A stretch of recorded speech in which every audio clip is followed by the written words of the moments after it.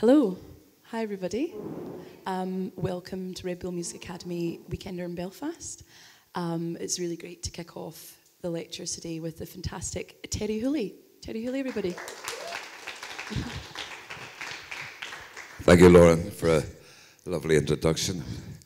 I usually introduce myself as the biggest wanker you've ever met. Surprised anybody turned up. I'm glad to say I was a bit worried about that. The other thing I was a bit worried about was when they said lecture. I don't like to be lectured at, and I don't like to lecture to anybody, so I'm quite glad it's a question and answering thing. And the other thing is, anybody wants to ask me anything, feel free.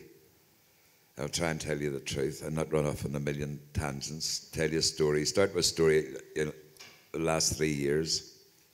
Uh, well, this can't last three years. This is an hour and a half, but we'll do our best to cover as much as possible. Um, so, I thought, seeing as we're in Belfast and we're speaking to you, your own story and the story of Belfast run in almost a perfect tandem. So, I thought I'd kick off with a track that kind of is the very beginning for you.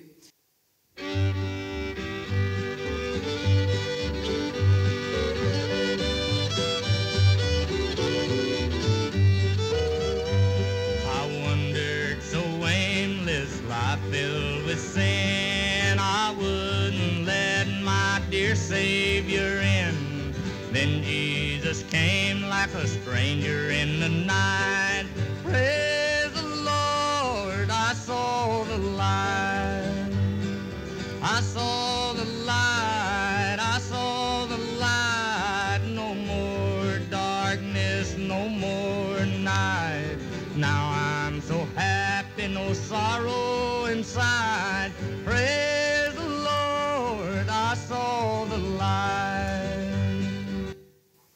No better tune. So, can you give us a little bit of a background about that particular track and its story for your life because it's tied into quite a, a pivotal moment in your young life? It's really funny because they used it at the opening of Good Vibrations, the film.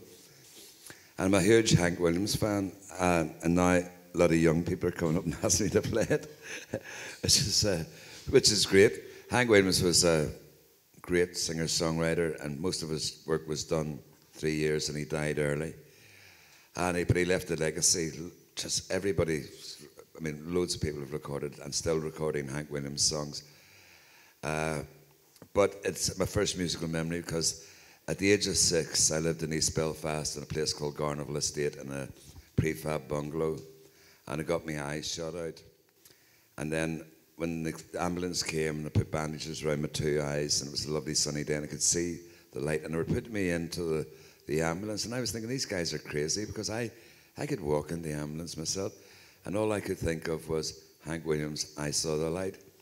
So BBC, many, many years later, phoned me up and went, is it true the grandfather of punk uh, is a big Hank Williams fan? I said, Absolutely, I absolutely am. And they said, uh, would you like to come in and talk? It's his birthday tomorrow. And I went, I'd love to. And I told that story, and a woman got in touch with the BBC and wanted to know how to get in touch with me. Because they didn't know where I first heard it. And it turned out that, well, her aunties ran a guest house in Botanic Avenue. And my grandfather was uh, used to go around and collect on a Friday money, a donation for, for the church, because because we were running the guest house, it didn't go.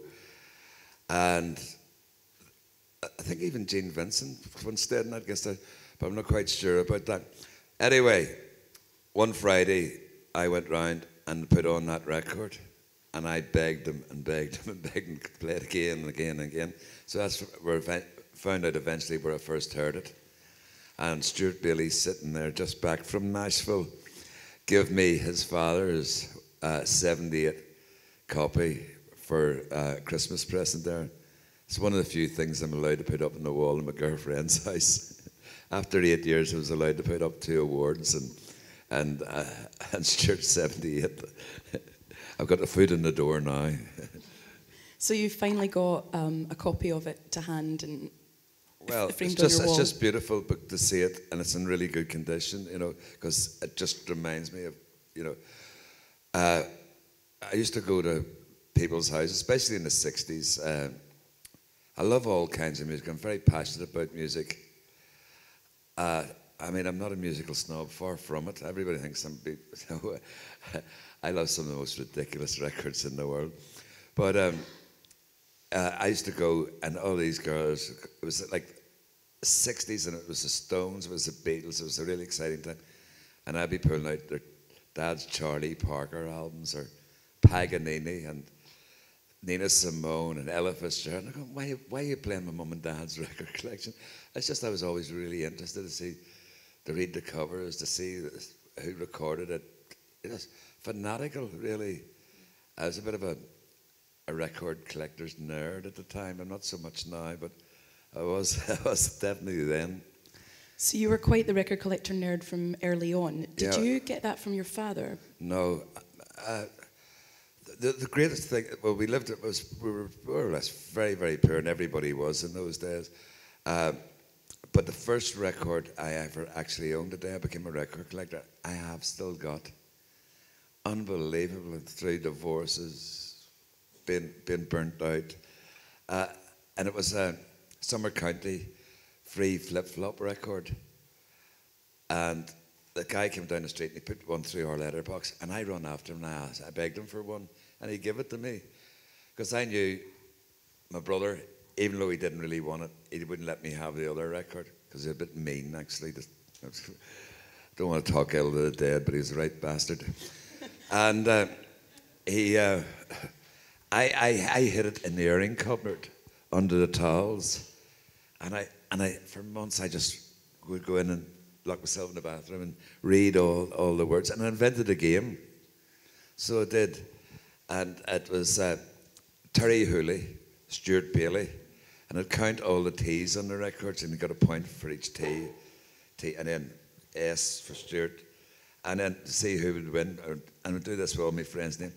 And then one day, a friend asked me would I give him a hand with a chair to go round to his auntie's house, and she had a record player. And then I heard it for the first time. It was uh, Swinging on a Garden Gate by Humphrey Lyttelton, who is a great jazz musician, because jazz was the music of my youth. And when I heard it for the first time, I went, Jesus, this is just wonderful. And that was my very first record that I ever got. And I didn't even have to steal it. Da- There's uh, David Holmes, the famous DJ. He, he wrote in my book. The original bit was Terri, uh, give me all these '60s soul records and all these things. And I think he stole them from somebody who was in prison. I David, what are you on about? I might steal your girlfriend. I might steal your drink. I might steal your drugs, but I'd never steal your record collection. No way. So um, even from early on, music was such a massive part of your life. But I know that um, as well as records, radio was a big part of your life. Yeah. Um, I know that your dad uh, bought you your first radio when you were, were six years old. He brought it back from a trip. Well, no, my, my dad was um, very left. Uh, my mum was very Christian. My father was English, and, and he came, they met during, met during the war in Shaftesbury Square. And uh, oh, my grandfather didn't like my dad much at all. Neither did my uncles. So, and my grandfather pleaded with my mum the day that they got married not to marry him, because a real lefty, and they were all orange. and and uh, but my mum married my dad, and she went to England. She didn't like it, so she left and came back home. So I lived a lot with my grandparents' house, which was great because they had a big piano and all. I was in love with my aunties, and as a bit of a mummy's boy, you know, hanging on to my mum's apron strings, and uh, everybody would sit round and sing round the piano and all and perform. And it was just magical. And then we got went to Garnerville, and then my mum and dad would go out to Labour Party meetings at night, and I'd sneak out of bed and listen to Radio Luxembourg uh, fanatically and uh, hear all this wonderful music and American forces overseas to hear the blues and the soul. And then my father went to Sweden on a trade union gig and uh, out there, and he brought me back my first transistor radio, and that was heaven to me to be able to hear music anywhere. To be, it was just like fantastic. I did have what was called a crystal set, which was you used the the frame of the bed as an aerial, and it was old uh, ex-army headphones, and and it was very limited. But to be able to walk about carrying and listening to music was just magical for me.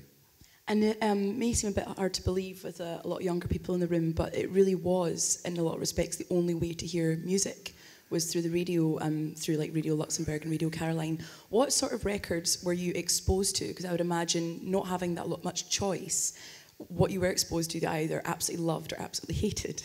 So, what kind of records are really catching you from a young age, listening to the radio? Well, I remember listening to uh, American overseas broadcasts. It was really for the German American troops in Germany, and I, I'm just back from San Francisco, and I heard this record one night. I didn't know who it was. I didn't catch who it was, and it was called San Francisco Bay Blues. I've got the blues from a baby down by the San Francisco Bay. Ushala, gone so far away. I didn't mean to treat her so bad. Best girl ever had. And it was just an amazing record to me.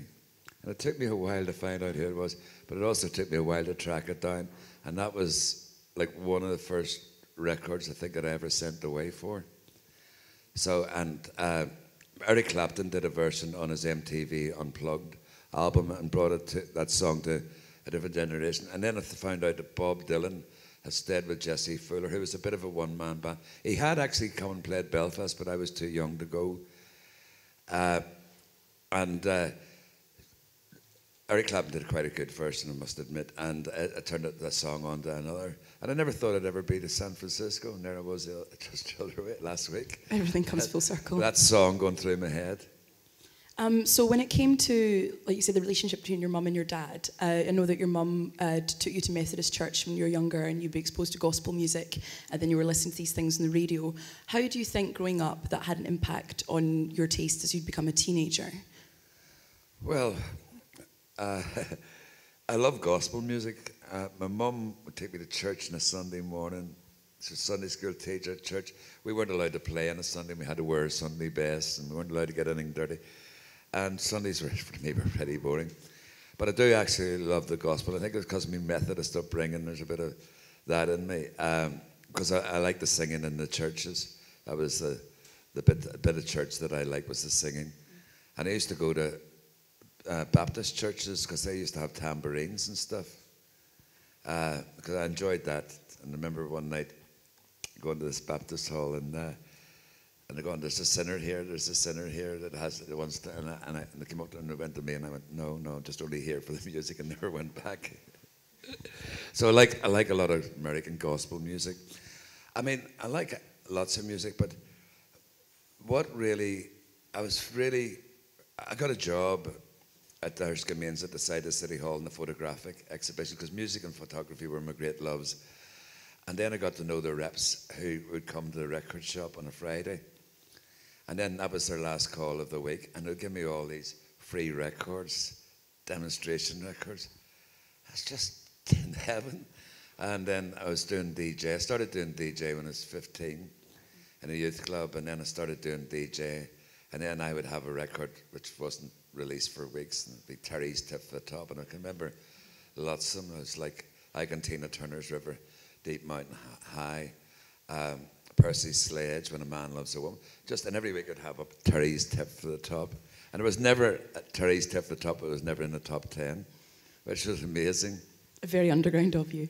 Um, I suppose one of the one of the main things that strikes me about um, you getting into music early on and feeling uh, an affinity with gospel music is how that also informed your taste for kind of classic R&B music. Um, and I've got a track for you that I was hoping you could tell us a little bit about.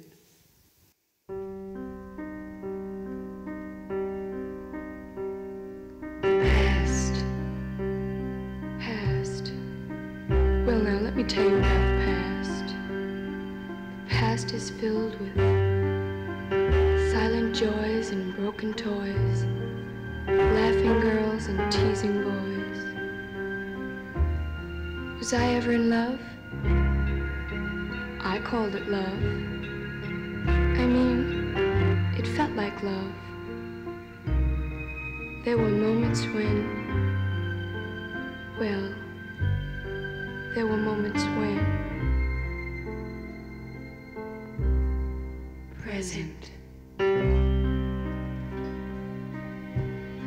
Go out with you?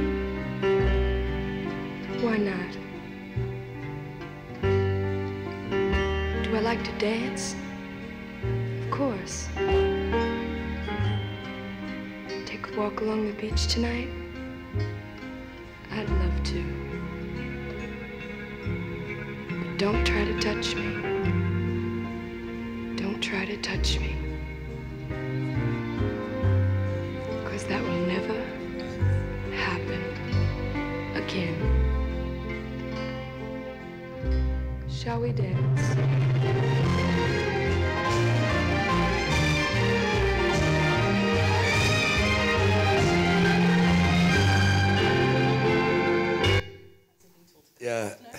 Just when it was getting a bit dramatic.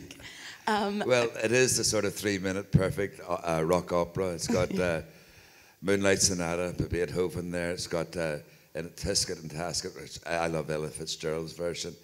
And it's also like a coffin rock record as, as well. But it's I was a, I was a fanatical uh, Shangri-La's fan. And Ronettes, the Crystals, Supremes, Martha Reeves and the Vandellas. Uh, just loved all the girly groups, chiffons. Don't, don't even start me on the Shirelles. well, I was And- uh, hoping to start you. And uh, I used to torture my mum to death, and uh, especially with Shangri-La's. My, my first girlfriend was uh, killed in a car accident coming back from a party in Bangor. The night I was out painting anti-Vietnam War uh, slogans around Belfast, and she went to this party and she was killed on the way back. And I used to sit in my bedroom. I just thought I'd never be with anybody again. My mum used to hear me crying in bed at night. I used to sit in the bedroom and play this. Uh, I was quite a lonely kid. Uh, uh, my brother was a bit nasty and he wouldn't let me play with anybody he knew and stuff. And I, so in the, when I got my own record player, one in six weeks, paid off every week, Kay's catalogue, dance set. Um, and I had my own records. I just sort of lived in a sweet world of my own in the bedroom. And the records were my best friends. And then the, the I was asked about 40 years ago uh, what was my all-time favorite record, and I said, well, it's Past, Present, and Future by Shangri-La's. I love that record. And I thought, oh, that's a bit wimpish, you know. Like, all right, okay. Should have been like something like Born to Be Wild by Steppenwolf or something. But uh, and time, I must say, if you asked me today, I would say that yes, it's a very personal record for me, and it's very part of my growing up.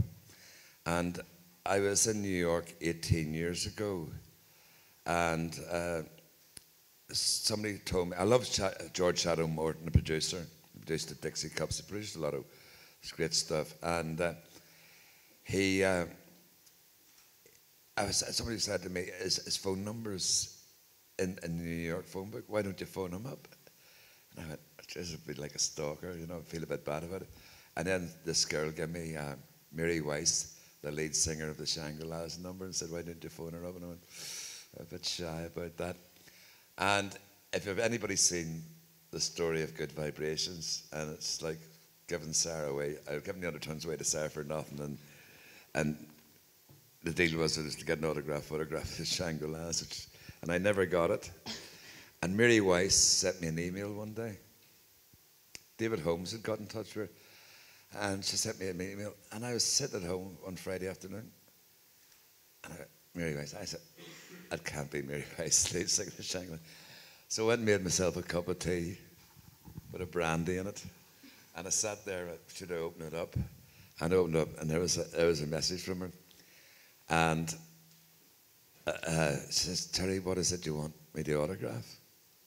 So, and I sort of sent her a few lines, and she sent me a few lines, and then I told her why I love the Shangri-La's, and, and I thought, better, I'm writing my life story here, I better stop. And we were going to fly Mary Weiss over from New York. To, our mother had found in her, in her loft an autograph poster by all the band, because some of the band are dead. Uh, and Mary was sending it to me. And uh, it to David Holmes. And then they were asked her, would she come over to Ulster Hall for the opening? And to tell you the truth, see if Mary Weiss had to come to Ulster Hall that night, I wouldn't have let her go back to America. She's still not a bad looking woman, I tell you. But I was madly in love with her. I was madly in love with all the Shangri-Las, but I was a big Ronettes fan, and I used to carry in my pocket uh, a cutout of the enemy was a photograph of Ronnie Spector of the Ronettes. And then years later, my good friend John T. Davis were talking one night, And didn't he do exactly the same? He had a cutout photograph from a pop magazine and carried about when he was a school kid. So another thing that we have in common. so yeah, it was just wonderful. And uh, you know, I never even thought I'd be in correspondence with Mary Weiss, and uh, hope to meet her someday. Oh, well, thanks very much for sharing that. She, she really could, she could be a future Mrs. Hooley. with any luck. Um, no, I was also playing that because, like you say, in the film for Good Vibrations, um, you agree to pass on your rights, as it were, um, for the Undertones Teenage Kicks for the princely sum of £500 as a signed photo of the Shangri-Las. But I love that, you know, £500 will come and go, but a signed photo of the Shangri-Las is forever. So I like that I'm actually thinking of doing. People keep asking me. I'm going to. Well, it's a funny thing.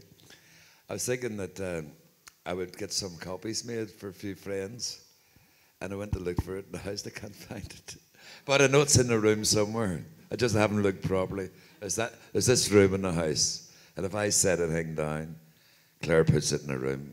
And I go. I was reading that letter. What happened to it? I said I put it in the room, and everything's in the room. I know it's definitely safe, but uh, I'm going to have to. There's just CDs and records and just everything in this room. It's just like it needs to go clear clear out, but I'll, I'll get to it one of these days. I can imagine there's a lot of treasures in there.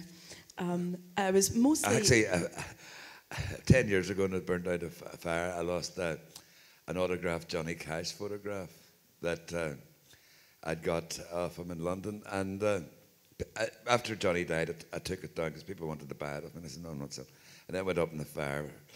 And then recently in my garage, I was looking for something else for something, and didn't I find an autograph. Johnny Cash and June Carter photograph, which I didn't even know I had. So that was a nice surprise. collecting signed photos as much as collecting records at this point. Well, I used to be a bit of a an autograph hunter and the Kinks, Stones, everybody when I was younger.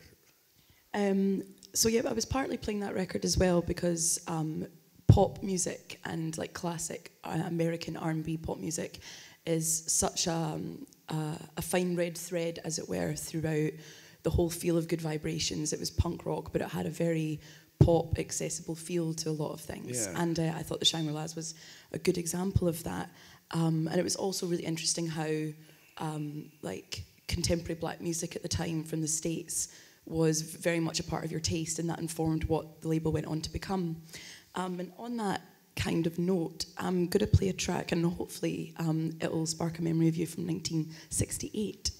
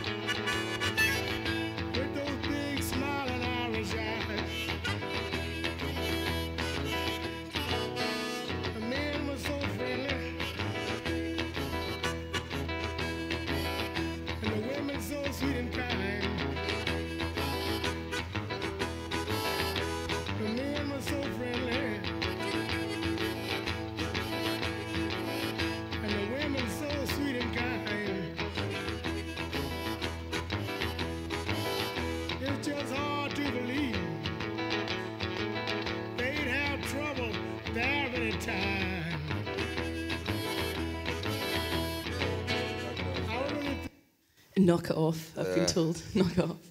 Um, Well, that sixties to me were just. I was born at the right time in the right place. I'm 65 now. So I was born in 1948, and then just the, the the rock and roll, the whole thing, changing, and then, well, the 60s, and I think the Beatles. I mean, I'm a huge Rolling was a huge Rolling Stones fan, fanatic, and never. I love the, what the Beatles did, but I'm not a fanatical Beatles fan. But the Beatles did change everything, and for for me as a teenager, growing up in the '60s was absolutely just the most amazing experience in Belfast. We had a it was rationing was over. We were, people were starting to have a bit of money. Um, youth culture was really changing everything. The music was changing. Uh, and a lot of, I mean, if you go back and look at the Stones and the Beatles and a lot of bands that were doing covers of uh, American records, and I was the secretary. Well, I was running a, I was running a folk club, uh, Sabine in High Street, and then it sort of closed down. And Dougie Knight asked me would I like to run the blues club uh, in his shop on a Sunday night. And believe it or not, in the '60s, on a Sunday, everything closed down. They uh, used to lock up the swings so the kids couldn't play. Uh, you just couldn't do anything on a Sunday. And we ran this club on a Sunday night in his shop, and we had maybe five artists on, and it was one and sixpence for girls, and and two and six for boys, which was my idea. and you got free coffee and biscuits and wonderful music. It was a great promotion for Dougie's shop. But we also put on concerts of, and we brought over a lot of American blues artists. And the last concert we ever did was in November 1968, and that's just who you heard was Juke Boy Bonner. And Belfast, there'd been trouble, and although there wasn't any rioting that night, but there was a fear of rioting, and the pubs all closed at six o'clock in the evening, and the town was deserted. And we were a bit worried, and we were a bit worried about getting Juke Boy Bonner down from the airport because we heard that roads were being blocked off and stuff. So it was in the concert was in the War Memorial Building in Waring Street, which is just two minutes away. It's, it's a venue which is never used anymore. And so it was all a bit worried. But the blues crowd came out with a good crowd. Plus the fact it was the only place in Belfast City Centre you could get a drink. So had the blues crowd and alcoholics. and it was a good tomato, night. tomato at some And- point. And, and we'd done all this food to sell and all, but we just give it away to people. Uh, we were waiting to see if Juke Boy Bonner was coming. I put a friend, Ed Emmett, up on stage playing. And Juke Boy Bonner arrived down, and my friend Pauline jumped up and kissed him. He sort of mentions her in the song. And I gave him a big hug, and so glad he got such a warm welcome. And that was the night that I realized the party was over. And the 60s was one big party that thought would go on forever. And that was the night I realized, you know, Bob Dylan's right, the times they are a changing. And that was the start of it. And then the 70s was just, in this country, was horrific. I didn't really, a lot, but didn't really do much. You know, it's just, we were afraid to go out. Uh, I mean, Club Bar we drank was bombed, and friends had been killed, and just so we started staying at home a lot and partying in our house, and if there was any trouble, you know, people just stayed the night. And I started selling records from my, back bedroom. But uh, it wasn't until I had the shop in Hard Street that a friend of mine, well, his sister and I had been big friends in the Maritime Jazz Club and all the great venues, and he's very interested in that period. And he came in and he bought a Juke Boy Bonner CD in my shop, and I'd ordered up all these CDs, blues CDs, that were about to be deleted and stuff, and and I'd ordered them all up, and uh, and he came up with a copy of Juke Boy Bonner, and I went. We brought him to Belfast. He says, "You know that there's a track on it called Belfast Blues," and that's, that must be 15 years ago, and I never even knew it existed. So apparently, Juke Boy Bonner went over to London next next week and, and put it down, and I never knew it existed until Colin uh, Colin Carson so it was great just to hear that memory. And because my friend Pauline was raped and murdered in New York, she was my mentor. She's a lot older than me. She she taught me to read and write, but she taught me a lot of bad habits too. And I never went back to church after meeting her. and uh, I became a right heathen.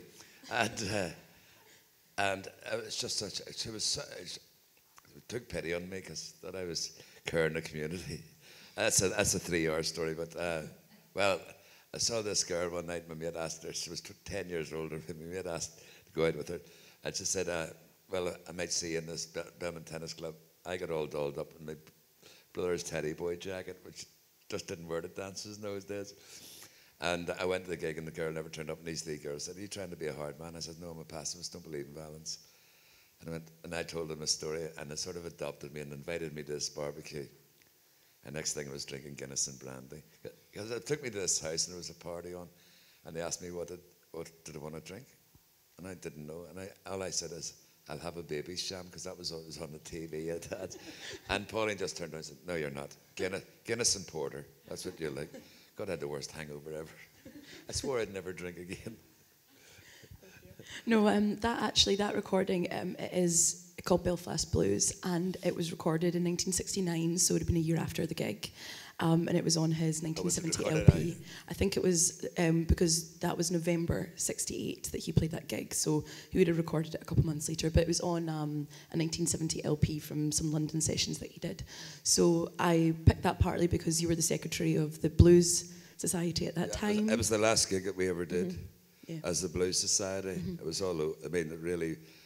It was the end uh, end of a decade for me. The, the '60s had ended early, and it, it was just a, it was just a, a kaleidoscope of color, and fashion and freedom, and you know we. uh, I mean, our Friday night would be, we would go to the Spanish Rooms on the Falls Road and five or six of us would buy a gallon of cider and we'd drink it around the entry and then we get one and six back in the container.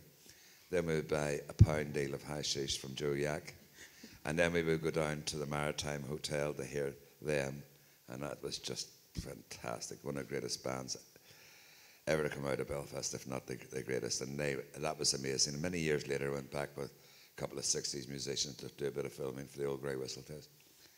And we couldn't believe how small it was. It was like the size of this room. Our memory of it was it was like the Ulster Hall. And Mervyn Crawford, friend, he plays saxophone now in my apartment. He said, God, look how tiny that stage is. My legs were shaking going on. And we just couldn't. It was like somebody had built a wee facsimile of the, our memory of it was it was huge. And, but it wasn't. It was just it was like this room, basically, maybe a bit bigger. And that, that was fantastic. That was a fantastic club in the jazz. Mean, there were 80 clubs in and around Belfast where you could hear live music. Unbelievable. And then when the troubles came, there was like two, the pound and stuff. And, and uh, I mean, the weekends were just bonkers. You just didn't get any sleep in the 60s, you know. It was like, Um, speaking of, of them, uh, I was also um, with the Belfast Blues track. It's again talking about the influence of things like the Shangri-Las, the influence of like contemporary black pop and R&B music on the sound. And I think when you're saying the end of the 60s was like a massive like social, political, but also like a cultural a cut-off point um, when Belfast really became very insular, you know, um, of, mostly of its, uh, not of its own volition. Um, and I thought I could play two tracks, well, parts of two tracks, uh, just to kind of exemplify the influence um, of R&B on what was happening in Belfast.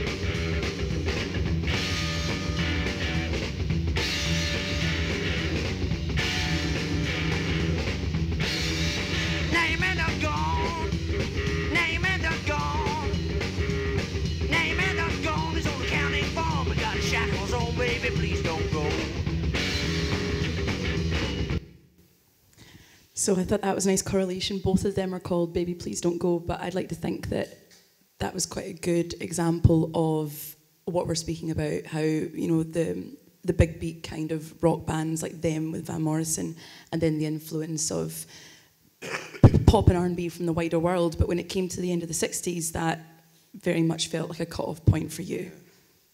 Well, them, them, them are brilliant, but they weren't the only brilliant band in Belfast. There was lots of really great bands, and the influence was American black music, obviously. And Van's father had was a big record collector. His mum Val was a bit of a singer, and his father was in worked in the shipyards, was in the blues, jazz, country, and so which obviously Van got a lot of his influences from, and because we were the the R and B explosion of the '60s was phenomenal. Um, black artists like John Lee Hooker and Muddy Waters and B.B. King were absolute gods to, in, in, in the United Kingdom, but were hardly unheard heard of in America at the time. It's hard to believe. In fact, many people say it was the British invasion that brought, brought black music back to America. Uh, and I used to be fanatical at checking out who wrote the songs. Uh, it's great. I love uh, them's version of uh, "Don't Look Back," John Lee Hooker's song, one of my heroes. And uh, don't look back to the days of yesterday. You cannot live on the past. And when the trouble started, I used to start playing that a lot more. You know, don't look back, uh, because my my history didn't start in 1690. My history started around 65 in the jazz club. Uh, that's my whole history of Belfast, really. Then there was the political stuff as well. It was coming. Uh, I was I was help, quite helpful in getting Nina Simone, who was very political, over to do her only gig in Belfast in the late '60s when it was the time of the civil rights movement here. And uh, you know, because she's very political, but she's also a bit crazy, a bit like myself. You know. And uh, I thought she always thought she was a wonderful artist. Also, a great album that came out uh, was, and it's my all-time favorite record, was "What's Going On" by Marvin Gaye because I was very anti the Vietnam War, and that whole album, which which uh, uh, the head of uh, Motown didn't want to put out, and became their best-selling album ever, I think. Uh, and I remember reading one of the reviews, and it just said, "This is not a bad album if you play it." And I went, "Jesus, it's the worst." And it's just my all-time favorite record. I could listen to it 24 hours a day, and it's got all sorts of stuff in it. Um, but about co- ecology and all, and that was uh, also, I think Berry Gordy, the head of Motown, didn't want to put it because he thought it was a bit too political. But there's a lot of political black move, uh, music coming, uh, fantastic stuff coming out of America at the time, and a lot of it was a lot of music. It was you could wait the civil rights movement in America.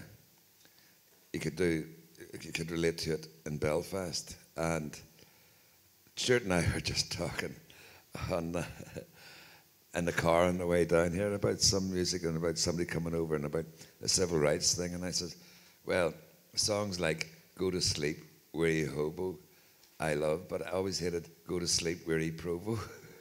I used to hate the way they would take a classic American folk song or something and turn it in. But um, th- th- just the troubles, just I just wonder what it was all about now.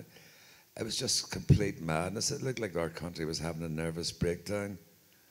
And we didn't go out much. And then one night, three gunmen was coming out of work and tried to grab me in a car. And two guys that used to tell me every day they hated my guts, saved my life. And then I decided to set up Good Vibrations. I thought I might as well do something before it kill me. And I'd always been interested in music, and I I started selling music from my house. Then I started doing the markets, and then eventually we got the derelict building in Great Victoria Street. And I wasn't sure how it would go, and it seemed to go okay. But then we were going for a while, and a guy called Gordy Owens from Sandy Row came in and told me about this punk gig. and I went down there, and I was the most unlikeliest person in the world. I really was that hippie. Um, I, I went down and I heard punk, and I heard the Outcast play, who I thought were atrocious, absolutely dreadful. That was um, a Rudi, a Rudi and the Outcast gig. That was Yes. 1978. Could well have been. I'm sure it could It, well have could been. have been. I'm joking. You're I've got al- no, I've got Alzheimer's coming in, ki- kicking in. But I mean, I, I can remember things in the '60s so clear. Can't remember what I did last week, hardly. But um, I went down and I heard Rudi, and I, and I loved a lot of the the American garage bands, like you would see on the Nuggets compilation albums, um, Seeds, The Standells, Electric Prunes, and Rudi did a great version of Question Mark and Mysterians 1960 uh, 96 Tears, 96 Tears.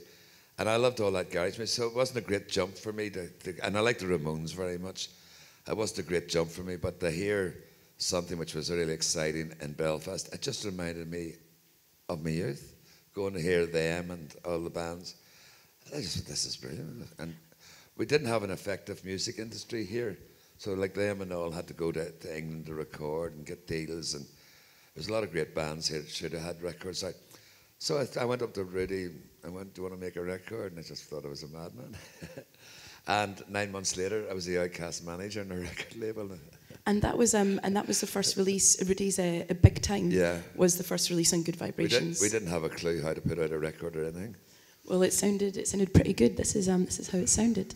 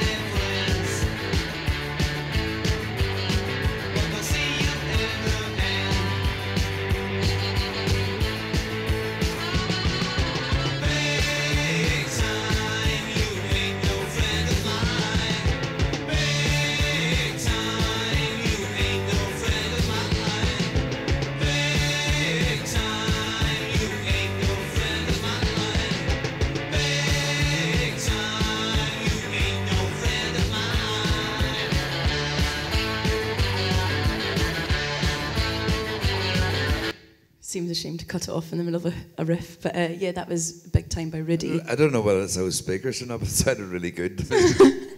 Well, um, this it's possibly difficult for for somebody of my age group to understand um, hearing like punk anthologized as it has become. But in the context of Belfast at the time, there was you know basically a ghettoization of the city. You know, bars were shutting at tea time. There were no venues open, um, and there was uh, quite literally barricades a ring of steel around the a, city a centre. ring of steel around the city centre. And um, uh, I was listening to a really interesting uh, BBC Radio 4 um, interview with a woman recently who was who who claims to be one of these punks, and she said it was essentially uh, a playground, well, a violent playground between the punks, the RUC, and the army. Yeah. Um, and I remember yourself saying that the punks basically saved Belfast. Well, uh, they opened up the nightlife again in Belfast. Well, Jim Cusack, who was security security correspondent for the Irish Times, know quite a lot of it, and from Belfast, I know quite. He said it was Terri Hooley and the punks that opened up the nightlife in Belfast. I mean, I'm not absolutely sure that that's true, but we certainly definitely helped. And where we are in this area, Cathedral, I mean, the Harp Bar was just around the corner, which was a shit shithole basically. I mean, it was a strip club during the day and didn't use it at night. And we we opened up the Harp Bar, and it was, really was the first time in a decade where kids from it didn't matter if you're Protestant, Catholic, didn't matter your hair was orange or green, didn't matter if you came from Mars, as long as you were a punk. And not all punks were love and peace, far from it. I'm right, bastards. Um, and but I mean, a lot of people say to me, if it wasn't for the punk and all, we would have joined the paramilitaries, we would have killed people, we would have ended up in jail, we would have, you know. And it, it did really did change a lot of people's lives, not only my own. I mean, Stuart, uh, anybody, but also a lot of the bands uh, like Stiff Little Fingers, The Undertones, and all. It was just a time of no hope, and punk was like to me. It was like a, little candle, a little light in the darkness, and this and this sea of madness and, and sectarian violence and craziness, uh, and it was also very exciting. So it was really, really exciting. And Good Vibrations didn't have a great musical policy. Some people say that Terri signed the band up because he fancied their girlfriends or because they'd bought him a drink one night or something. It's probably true. uh, but it was just, we hadn't a clue what we were doing. And the last thing we ever thought that anybody would ever remember any of this stuff. Uh, I mean, we just didn't have a clue. It was all new to us how you made a record. And we sent Ru- Rudi with a band that I really thought should have made it. I, I they were great.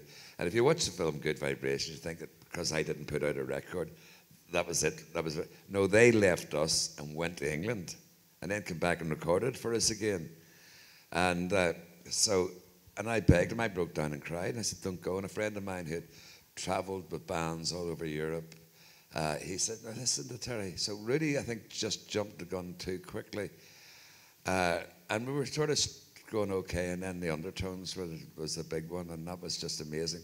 I went to London, and the first people I took it to was Rough Trade, and they were the biggest independent record distributors in the UK, and plus the fact a label. And it just signed up Stiff Little Fingers. So I went down to Geoff Travis and Richard Scott. I got off the plane, I took it down, and I was all excited, and I played them Rudi. I played them the Undertones big time. And they told me it was the worst record they ever heard. I was devastated. I mean, we recorded this at the back of the Duke of York in a clothing warehouse in a little studio for £200, 50 quid a track. So then I took it to EMI and a whole lot of other record companies. All told me it was shite. And then on the last day, and it was my last hope, was CBS. And I went in there and they told me it was rubbish and I wrecked their office. I was so frustrated. I was so angry. And then I went round and left copies to, to, in the John Peel in the BBC. And I came back. I went and got trashed that weekend in London with a lot of mates. Uh, I was just, I just went, and I, was, I didn't want to go home because I felt I'd really let the band down. I really believed in Teenage Kicks. I really thought it was a great pop record and very radio friendly and stuff. And uh, I went get trashed, and I didn't want to come home. And I come home, I was so disappointed that I'd let the band down, and I broke down and cried. Then my wife and I said, she said maybe John Peel will play it, play it. And that night, he played it, and famously, for the first time ever in the history of the BBC, a, a, record was played two times in a row, back to back. And then Sire phoned me up. We got my home phone number, and they phoned me up. And I told them they wanted to license the record for America. Actually, that was the, the thing. And I said, look, we're not really a proper record label. And my job isn't running a record label. My job is to put Northern Ireland back on the music map, and that's all I want to try to do. And I said, get over here on the Wednesday night. Uh, they're playing in Derry, so I came over and I heard them on the Wednesday night. Thursday signed. And on the Friday, because Peter Powell had put it out as his record of the week and all on Radio 1, and all the other Radio 1 DJs were then playing it. CBS and all phoned me up, and they wanted, they wanted, the, they wanted the undertones, and I said, too bad to get signed, signed to Sire yesterday. This CBS, who were particularly nasty to me, I asked why I wrecked their office, um, said, "Have you any other bands on the label?" And I said, "I have, but I wouldn't fucking give them to you." And um, but that's a really the the relationship that you as you as Good Vibrations and you personally have had with both independent labels and major labels over the years, including Rough Trade, Sire, EMI. It's very interesting to think of what is it that, Well, I, I don't actually like the music business. I like the music, Uh-huh. and I hate record companies. I Sometimes I think they're legalized mafia. That's why I've never had a contract with anybody in my life. You know, I mean, well, should have actually could could be quite rich if I had it. but, Just think if I had a penny for every time that I had heard teenage kicks in my life, I'd be, be able to buy us all a drink. Um, but I asked, I asked partly um, because I'm curious as to what you think at the time, because by the time that the Undertones were releasing, that was like 78, 79, um, like punk was quite an established um, a musical genre. You had uh, Sex Pistols on, you know, Top of the Pops, you know, The Clash were huge. So what do you think in particular it was about the Northern Irish punk sound that people at first were quite rejecting of and then came to love? I think it's sort of a, a rawness to some of some of the bands. Uh, you had it in the '60s too. You know, if you look at them and a lot of the bands, there was a sort of rough edge to the music. But also, I think it meant something here to, to you know people because they were getting out of their ghettos uh, and going to these wee places. I mean, as Stuart once wrote that no matter which tribe you came from, to go, you had to pass a lot of different areas and to get to the Harp bar. And it was, and when you came down these streets 35 years ago at night, it was as scary as anything. There was just nobody about at all. Nobody, and it was scary. So then, it might have been scary, and the Harp bar might have been rubbish. But when you got in and heard the music, it was just, it was just like going to see them again uh, for me. And I was very lucky. I got a chance to relive my youth. But there's a lot of after Stiff Little Fingers did all, all the political stuff. A lot of the bands didn't want to write about the troubles, so wanted to write what was happening in their life, and, and a lot of the bands avoided writing about the troubles, which I sort of think, you know, okay, it was a reaction against the troubles, but you know, but I, I think it should be maybe more political songs at the time. But it, uh, nobody, nobody felt like doing it because Stiff Little Fingers had been such a tremendous success with Suspect Device and Alternative Ulster and, and stuff. And But that um, that kind of split, um, like in hindsight, there was kind of a thematic split in what was going on um, in the punk scene in Northern Ireland because then you have Stiff Little Fingers who were actively writing about the troubles, and then you had groups like the Undertones who were quite the flip of it, Yeah. where they were more about, well, from my perspective, obviously you can correct me if you think differently, but they were more about a kind of romantic escapism about their own teenage lives and Yeah. trying to, because I remember um, reading something from Feargal Sharkey, and he said, there is no way that a one hour gig is going to squash 400 years of you know hatred and violence. It's about the undertones were about escapism. Does that kind of chime with you? There was almost two Yes. kind of sides to it. Well, I suppose if you lived in Derry at that time and you're a young person, you just went out and ratted every day after school, and and the Undertones formed a band, and they and the, and the reason why I thought they were so good in the studio was because they practiced and practiced and practiced and practiced, and when they went into the studio, you basically were recording them live. Basically, it was, and they were that good. I always thought they were, and I, I think I think it for many bands is, some bands are very lazy. It's just to practice and practice and practice and practice till you get it right. And uh, because of Derry being sort of quite a violent city as well and stuff, I, th- I think being in the band was like a safety net for them. You know, uh, not getting caught up in all this. So it's hard to explain, really. But uh, they were frightened to come down to Belfast because of all the sectarian murders and stuff. I mean, Rick, Mickey Bradley, I'm the never other tones a few here. years ago, asked me to take him Okay. round the corner and show him where he recorded Teenage Kicks. And his, his memory of it was like they were really scared coming to Belfast. yeah i was going to say because um, the undertones are from from bogside in derry Aye. and uh, that was um, you know unfortunately famously you know well known in the late 60s early 70s for Yeah, we were you know, frightened to go up the, rampant side. sectarian violence. Yeah, I was wondering um, also the way that the undertones portrayed themselves and how people reacted to them. Because now looking back, they're a very loved kind of Northern Irish pop, pop and pop group.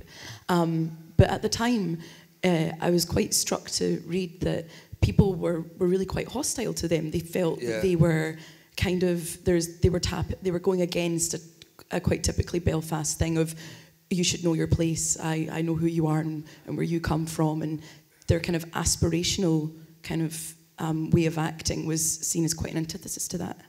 The, the night that I uh, we took Sire up and I stayed in Mrs. Sharkey's house in the guest room, which was like a religious grotto. So it was, I mean, it was like going to Lourdes or something. and, uh, and it was like, Jesus, I love all this stuff. And um, the next day I went down to get some cigarettes and a paper from the shop, Fer- and Feargal came with me. And people ran across the road and spat on him. And I went, what on earth is that all about? In Belfast, nobody could be bothered to run across the road and spit on somebody, I don't think. And I was really, that really shocked me. I was quite taken aback about that. And people had put up, it only just started, people had put up graffiti that didn't like, um, didn't like the band. And, but uh, I think they just got used to it after a while. I know Feargal took a lot of flack, so he did personally. And then there was in the music press about stiff little fingers and the undertones not liking each other and stuff like that. Uh, but, um, there were a lot of great bands. I mean, one of, one of the bands that I really loved was the Ruefrex, and some of their stuff was political. They were from the Shankill Road. Um, I mean, if I turned the band down, I used to go, Terri only sing, signs up Protestant bands from East Belfast, which is far from a truth. Um, I'm not well liked in East Belfast, so I'm not, because I like all kinds of people. Just uh, the, we didn't really know what we were doing, but and it was real cottage industry. So it was. We were, we all folded each other's sleeves. We all we all uh, and unfortunately we we went bankrupt because a lot of uh, small independent distributors loved to sell our records and all, but they never wanted to pay us. And then a lot of them went bust, and then we went bust because we couldn't pay our bills. And I was quite glad when eventually. I was sort of quite relieved because it was three years, for about three years of my life, it just seemed to like be madness and no sleep. And kids would be coming knocking on my door at three o'clock in the morning with a demo, and it's just bonkers. And I, and I think I just basically ran out of energy. So I was sort of quite glad.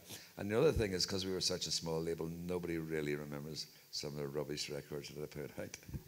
Um, and not to pick a rubbish record because I'm not, wouldn't do that. But there is one particular record um, on the Good Vibrations uh, label that I find really interesting. It was the only the only 12 inch single that you ever put out, and I was hoping um, to do a little segue into another side of this. I'm going to play this, and hopefully you can tell me a little bit about it.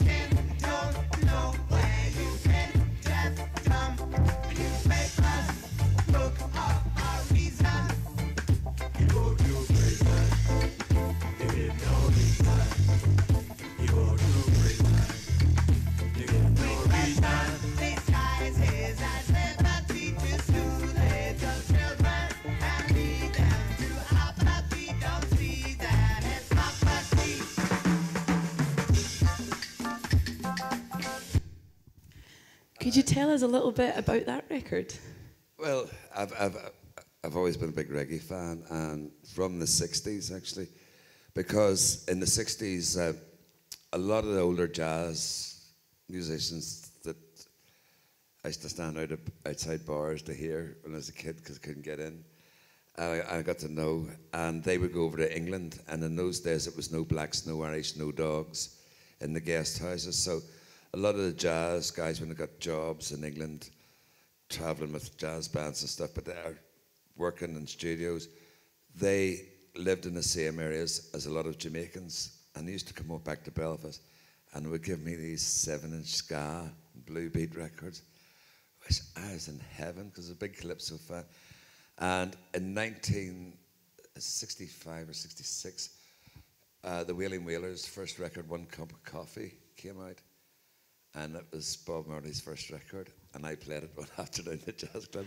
And it completely cleared the floor. So I've had a, a big interest in ska and, and, and I was a big collector and set up the Belfast Reggae Society. Um, did regular gigs up at Queen's University every week. And I was in Dublin with John Peel at a 24 hour festival called Dark Space and some of our bands, Rudi, Protex, and all were playing. The Electric Prunes were playing. Uh, Radiators from Space, can't remember everybody. But it was this band, black and white band called Zebra. And John Peel said to me, You should put a, put a record out with him. And I did. I don't even think he played it. And we put out 1,500 copies, 12 inch, 149, and we couldn't give it away. So we couldn't. Well, it just seemed like that we couldn't give it away. Uh, and then, about a year and a half ago, a Japanese collector paid 700 quid for one of them. So I've got two in the house if anybody wants to give me, give me a bid for it. And in fact, I, I didn't have one until quite recently, uh, two years ago, uh, at my annual 40th birthday party. Somebody, somebody give me one. And the, their father's Holy Bible. Ex punk. Give me his, very religious now. Maniac Mal, give me his father's Holy Bible. It was. Um, it's just such an interesting record because obviously Good Vibrations is so known as a, a, punk label, but it's fascinating to see, you know, an Irish, an Irish. Well, we, we, did bring reggae bands. Yeah. We brought back over to, to um, the Harp Bar. We also brought who'll be at Shane MacGowan over for his uh, his first gig in Ireland. Shane worked uh, in a record, sh- a record store in Soho Market with two friends who were in the Esoteric Music Society in the 60s, uh, Phil Gaston and Stan Brennan, and he worked with them. That's where I first met him. And then he formed a band called the Nipple Erectors, and, and I brought him over for a gig in the Harp Bar. And a few nights before, he phoned me up and he said, Try what will do and get the Belfast. Will the band keep their keep their heads down? I said, No, when you get the Belfast, Shane, there's only one thing you need to know. It's how to keep your drink down. sort of words that I regret. And then we brought over people like The Fall. I mean, it was a pretty experimental. I sort of like, I called it the punk workshop down in the, but uh, we brought over the monochrome set uh, in their very early days. Uh, uh well, over a few bands, but uh, my favourite nights in the Harp Bar, best remembered, is our own bands, really. Yeah, and um, on, also on the, the theme of reggae, I know that um, before Good Vibration started up proper, uh, you were playing on pirate radio in Ireland and you were mostly playing a lot of, of reggae records, but there was one night in particular uh, when you were playing in, I think, I'm assuming in the jazz bar that you're talking about um, in 1965, and you played uh, a Wailers record, Simmer Down, and there was two quite famous men at the time in the crowd. Do you remember this? No. No? Right, I'm gonna, I'm gonna hopefully jog your memory with the track.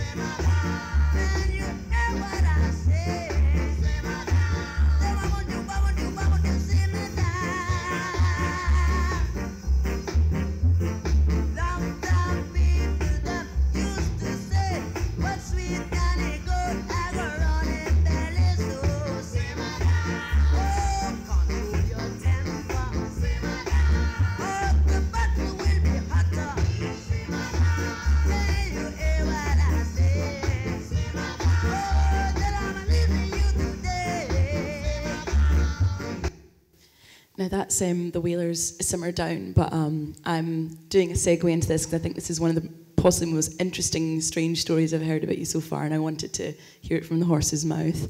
Um, that. I will, I hope I can jog your memory then. You tell was, me the story. Okay, I'll tell you a story.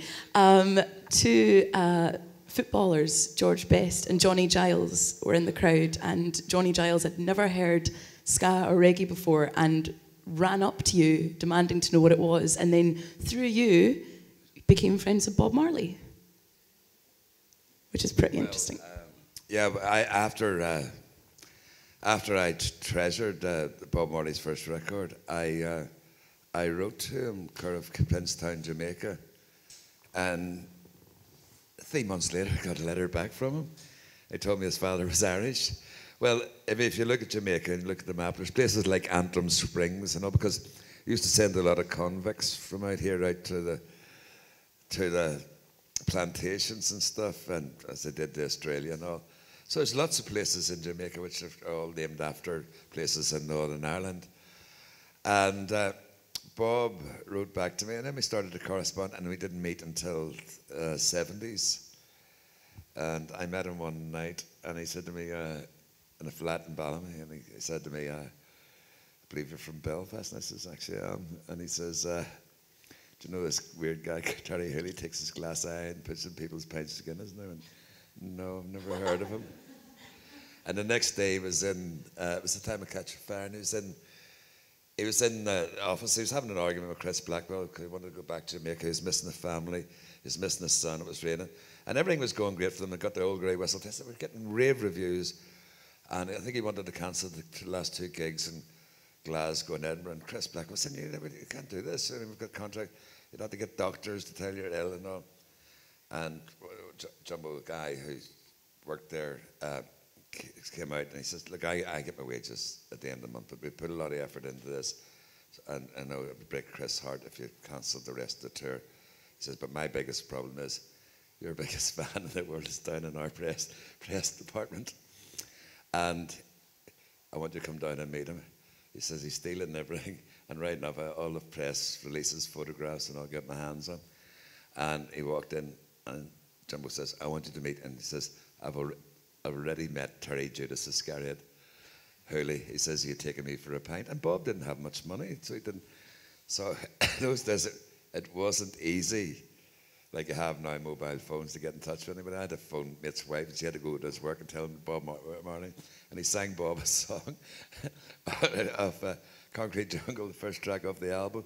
And Bob was very. And he turned around and said, "Tommy, I want you to do me a favour again." He said, "That was very interesting, but never play one of my songs again." and uh, he was a lovely man. And recently, Stuart and I were down at the Wailers gig. I was doing support. And what a disaster that was. I mean, there was only family man Aston Barrett and met Peter Tosh, Carlton Barrett, and Bonnie Love. Um, and it was to go out as a Wailers to me is an absolute disgrace. It should be done under the Trades Description Act. So I went down and I did me me hours set and was home at half eight. That was unbelievable for me. It wasn't half eight in the morning for a change. But um, just trying to pull through the, the, the theme of reggae again, it's that it's to show really like the breadth of everything that you've been interested in for so many years and what's influenced the label. Um, and I just find it fascinating that you would start off, you know, selling records in your room, then having the record shop, playing pirate radio, um, even go- going across the border to play pirate radio, play reggae records. Um, it really is just like a testament to like the breadth of everything you've done. Um, I, I used to go over the border every Saturday night, do pirate radio. Well, um, I know Nathan, famously in Kiss FM in Monaghan, preaching love, peace, and understanding into the Black North. Eventually worked, but not, not through my radio show. but I was, it was really funny. And, the- and the British Army used to stop me and go, Terri, you're playing a record for us? And I said, you have to write in or, or whatever. And then one night they held me back for two hours. And then I, they were putting on, running around the station, they're putting on UB40 and stuff. And I, and I went in and I said, what's the next record? And they said, Living on the Front Line. And I had, this here is very especially for David, Paul, and all these guys living on the front line in, in Middletown.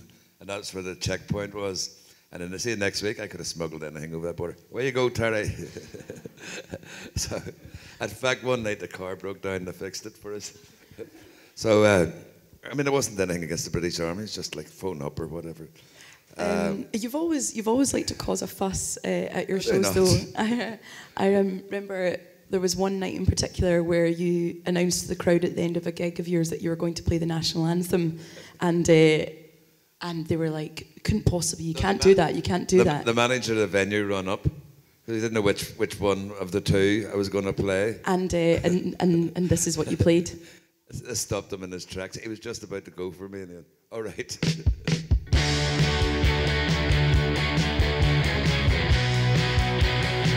national anthem.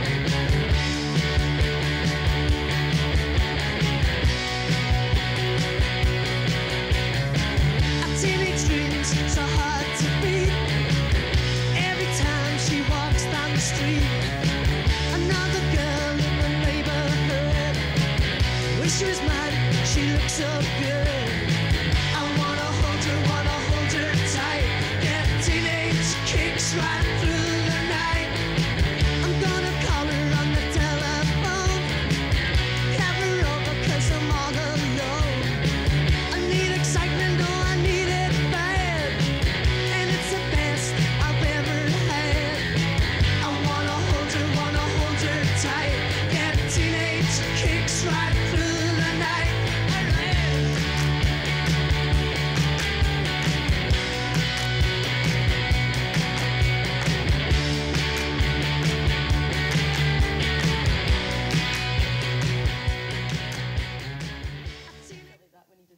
bit like that when he did the ceremony being faded out a little bit. It seems a shame to cut that off.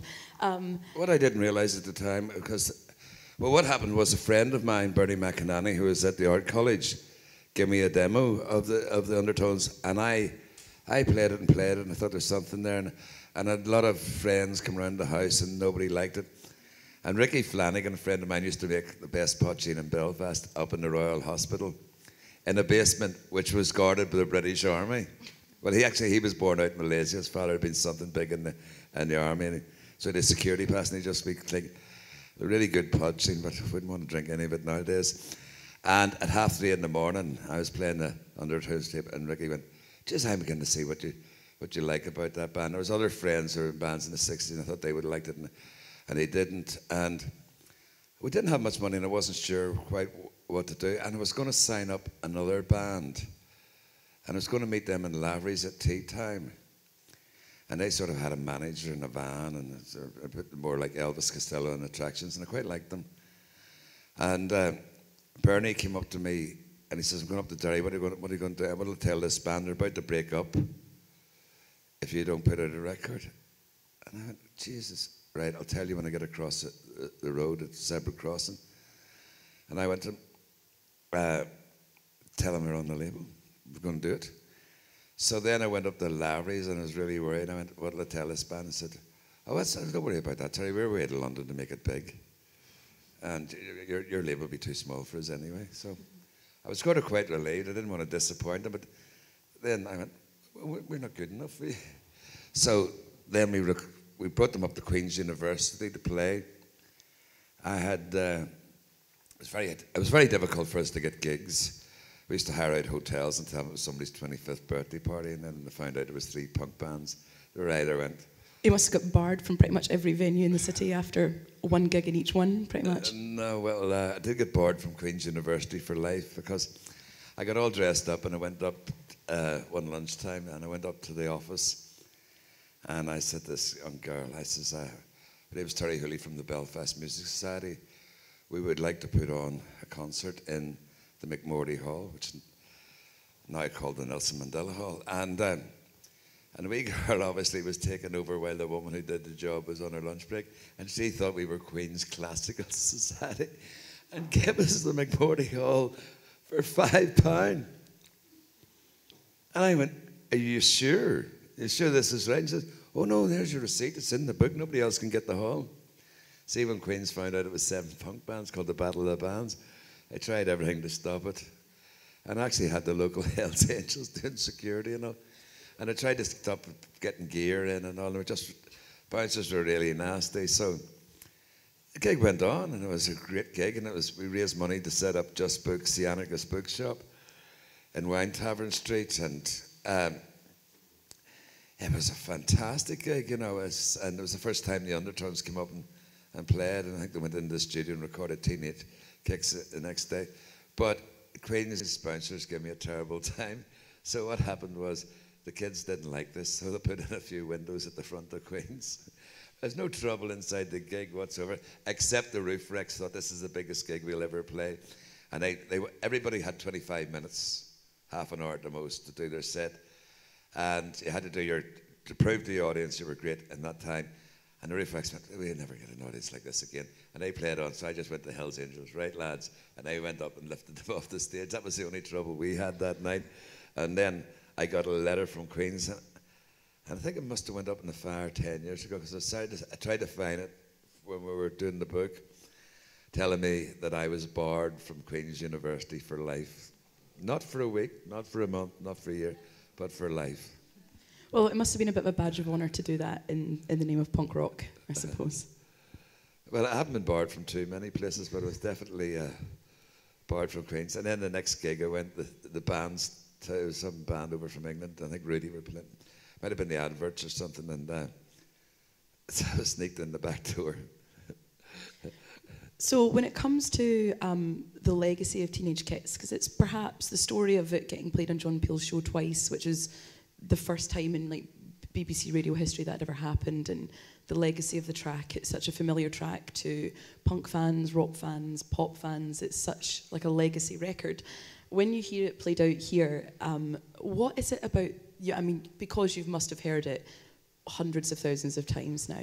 What is it about the track now that still grabs you, and is it the same as what grabbed you when you first heard Yeah, it? yeah. Is. I have I have many versions of it. Uh, I have Nouvelle Vague's version, the jazz version. I have Union Avenue. Who, when I first heard it in the radio, I thought it was Johnny Cash singing. Um, and it sounds it starts off with Ring of Fire and goes into Teenage Kicks.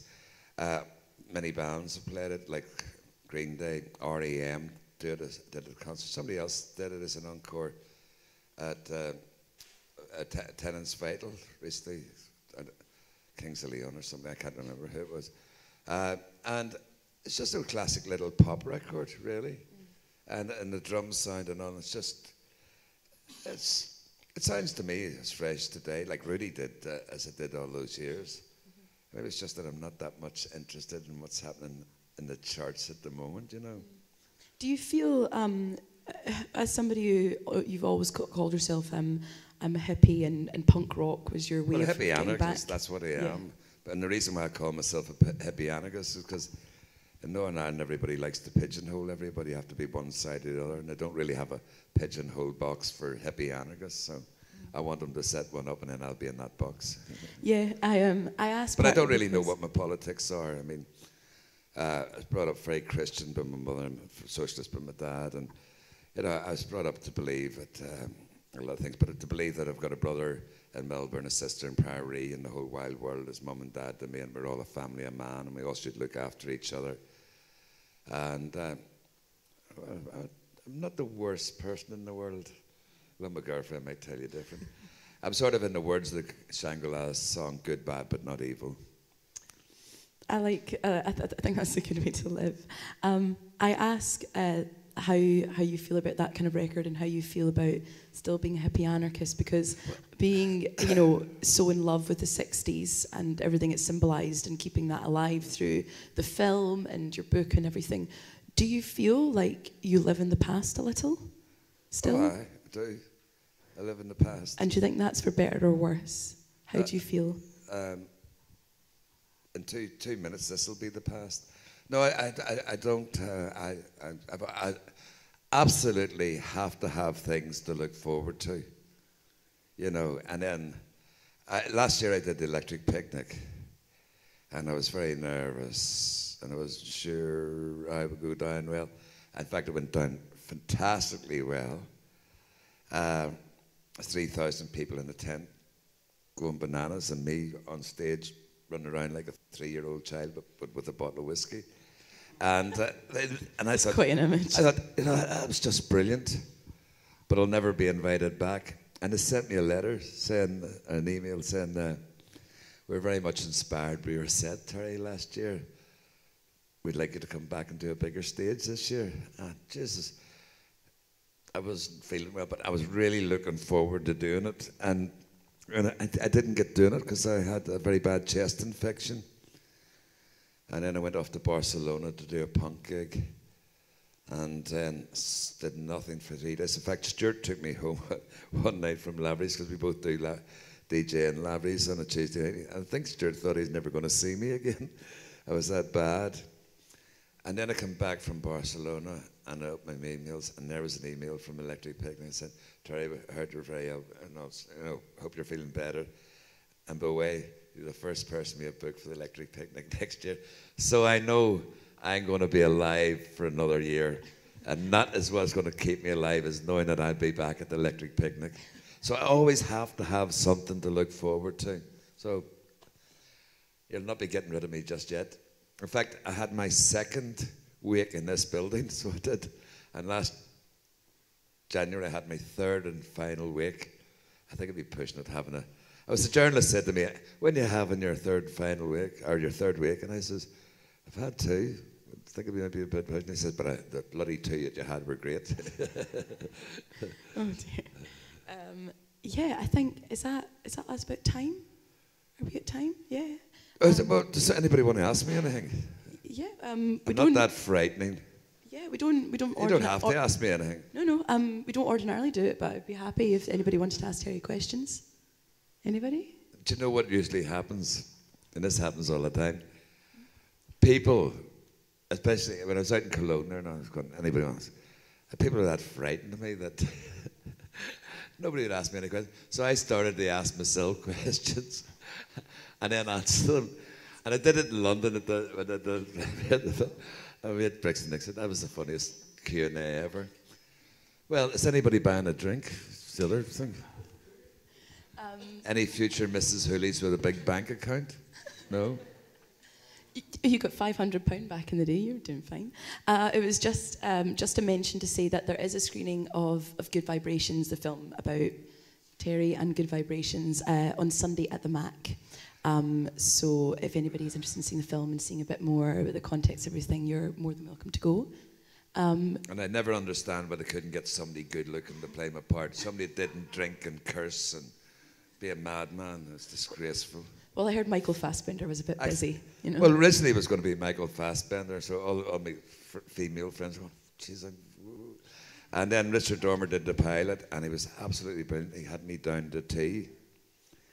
And he's just amazing. So it was, we would have had, we would have had to fill him out quicker. We would have got more big fans with a big name like that.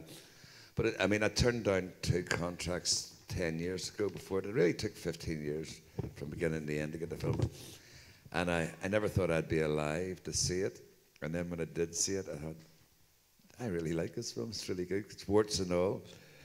It doesn't make me out to be an angel because well, I haven't been an angel in my life. I mean, I haven't been that bad, but I haven't been an angel. And I'm very proud of everybody who worked in the film. We had a great team. Uh, Nick, the editor, said we had a fantastic film. It lasted two and a half hours, and it broke his heart to cut it down to 93 minutes. And I was really surprised that like people like the Belfast Telegraph, before any, anybody had seen the film, Belfast Telegraph was saying insiders in the music industry say this film's going to be big. And then when the film came out, it says, if there's had a half page in the Telegraph, if there's one thing you do this weekend, you've got to go and see Good Vibrations, the best movie ever to come out of Northern Ireland. So I'm very delighted with the success of the movie for not only the directors, David Holmes, producer Chris Martin, and everybody um, in, in the film, because the film's been seen, shown all over the world. The best reaction I've ever seen for the movie was, believe it or not, in Moscow. And I was out there for, for Irish Week, and I built a bar called the Hooligan Bar after, my book. And uh, that wasn't a plug for my book because I don't even have a copy and I've never even it's, a read it. it's not a plug, but it's a plug. Um, and I did DJ in it, and I let the Moscow punks take over, and it was just amazing. And I, I I really enjoyed Moscow, but they were so enthusiastic about the movie, and they stood and clapped for 10 minutes and cheered. But they'd all got free Guinness and, Irish whiskey beforehand, so I think that might have been a part of the reason. I think that might have helped. And then they clapped and clapped until I got up and spoke to him, and I was absolutely in tears because I didn't expect a reaction like that. It was a bigger reaction than we got in Belfast. All you get is, your movie's all right. Um, just another little thing. Um, also, before that, there is Daniel Holmes' short film. It's a premiere of A Light of My Eyes, which is on f- 15 minutes beforehand, and it starts at three. Forgot to say, so it's three o'clock tomorrow uh, on on Sunday afternoon. Uh, so that's us. Um, did anybody want to ask any questions at all? No. Were you were you kind of hopeful for some? I'm down for a pee. Oh wait, hang on. I've got one. Right. Y- you hang tight. Hang on. Hi, Terri. Um, there's a great um, scene in the film. Um, and I was just more a question: Did did it happen in, in that particular way, where you've kind of made up your mind that you're going to open up the shop, and I think it's kind of the IRA kind of come together in, in a in a, in a bar, and you ro- rock on in, sit down, and throw throw the records on the top. Did it was kind of more uh, s- simple when it if it, if it when it happened? Did you kind of handpick the records in the hope that you know I'll pick some really really good ones, or did you just pick all the crap that was lying in the, at the at the bottom of the basement? It was, it was a, well, actually, it was a brilliant drawing after my book came back in, in the Irish Independent or something, or Sunday Times or something.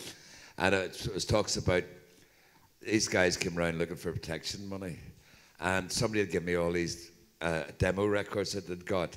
And there was all these like Philomena Begley albums and Irish accordion albums and stuff that we just knew we wouldn't in the shop. So I, I give them, the, I said, take them. We've no money in the till. Take those records, sell them, and then you get some money. And uh, the, the, the cartoon was of a guy with balaclava in the bar. Buy one of these albums or else.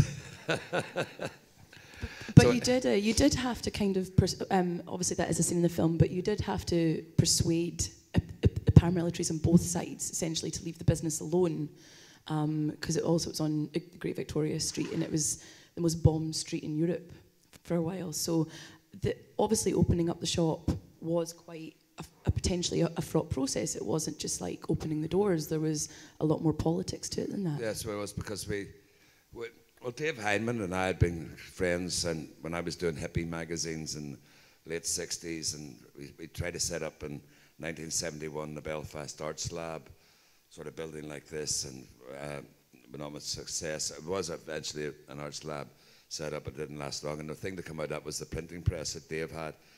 And Richard, we, we've been, trying to get a building, to, to eventually we got the shop in Great Victoria Street, and I wasn't sure whether the record shop would work or not. And it was, well, it just, it was just a hub of activity. And you look back at some of the footage and, and Shell Shock Rock, and it's just so many kids in there on a Saturday.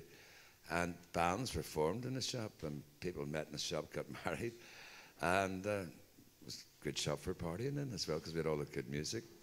But it was, it was difficult, and, I, and then it was, uh, I mean, Michael Hall, Anarchist friend, says that he, he had actually, he, he, had to leave the country and wrote a book about his world travels. We were both threatened, and, and I didn't leave.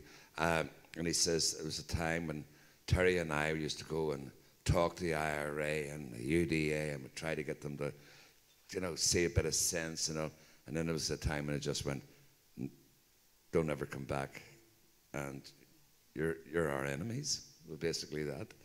Uh, so it was it was quite. Um, you know, it could be quite nerve wracking sometimes working there late at night and hearing a banging on the door and all, and looking out the window to see who it was. And there were times when people hit me and stuff like that. But and now years later, a, a, a lot of paramilitaries have apologised to me for things that happened in the past. So I I, I, I haven't been attacked for a couple of years, and and I love a ceasefire because I used to be attacked every month. and the old bones can't take it anymore, tell you the truth. And I'm more frightened now. Frightened of my girlfriend, actually. I, I mean, I found San Francisco. I'm more. Uh, people say about how brave I used to be, and all. I just think it was insanity, really. I'm not, and I'm not very brave these days. And I love Belfast. Gary Lightbody says I live and breathe this city. But I was, I must say, being in San Francisco, as an old hippie, thought it would all be wonderful and all. I didn't really like it at all. And I was so glad to get back home to Belfast. I really love Belfast people. I love people from Northern Ireland, and I'm very proud to be from Belfast. To tell you the truth, and I think, I think people here are very generous and they're, and they're very caring. It's just the bigots and the racists that I don't like. But you have to deal with them too, I suppose. And I'm, I wouldn't want to live anywhere else in the world. I never have. I, but I always realised as a younger person, especially when the troubles came, and a lot of friends. I mean, we had 40 friends and we were called the tribe. I was the last man standing in Belfast. Everybody got up and left poets, artists, musicians. And I always felt that if I left, you know, one, I would never come back, and two, I would feel like a traitor. But also, I love Belfast because it's so exciting. Such a small city, and there's always something happening, especially now. I mean, 35 years ago, I wouldn't be invited to one gig a week, maybe a Saturday afternoon in the pound. Now I'm invited to 300 things every week in Belfast. Just wish I had the energy to go most of them. Now, a lot of them, admittedly, I wouldn't want to go to. But, um, and there's so many young and exciting bands here. And I I've always said this from the 60s that Northern Ireland is such a small country. We have the best poets, painters, mu- musicians, performers of anywhere else in Europe. And then somebody phoned me up, Van Morrison's ex-manager phoned me up and said, you know, you, I just heard a, I just heard a couple of new bands. You're absolutely right. You, I know you've been saying it from the 60s, but we have absolutely fantastic talent in this country. And you think that people come out of the country, Seamus Heaney, Paul Brady, who Bob Dylan says one of his favourite songwriters, um, Van Morrison, just, I mean, all, all, all the people, you know.